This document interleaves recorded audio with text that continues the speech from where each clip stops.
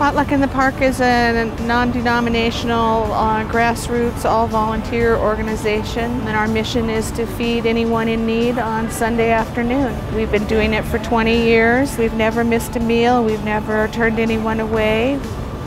I'm Sherry Baber, Potluck in the Park Board Chair and newly appointed Operations Director.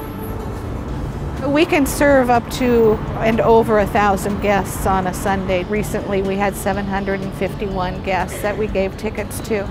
Sunday is D Day at the kitchen starting around 9 o'clock in the morning. They start bringing out all of the whole cantaloupes, whole melons, cut up fruit that's been prepped, and start putting all that together. They start putting the pans in the ovens and start loading the truck. About 12:30, 1 o'clock, we start setting up here at the park, getting our tables in order. And then at 3 o'clock, all the food has arrived, all the staging is done, 5 o'clock, we send all the dirty dishes and recycling to the kitchen for final KP.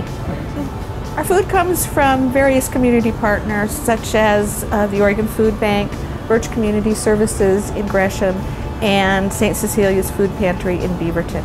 We have some guests who have been with us the entire 20 years, but they're no longer just guests, they're also volunteers. So potluck's more than just food, it's a sense of community too. I'm often asked about the future of potluck, and my response is that we'd like to close our doors, and that would mean that we've fulfilled our mission and there's no more hunger in our community. But um, we all know that that's not in our foreseeable future, and so our mission is to keep doing what we're doing.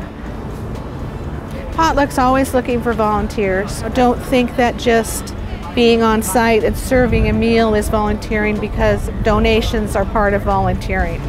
We need big quantities of things. When you're serving 500 guests, you know, a donation of, you know, 10 cans of soup doesn't go very far. But a donation of $10 means that I can go and buy a large quantity of soup.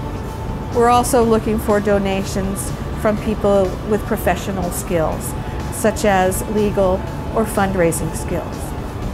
Besides closing our doors eventually, our long range goal would be to have a, a, place of our own.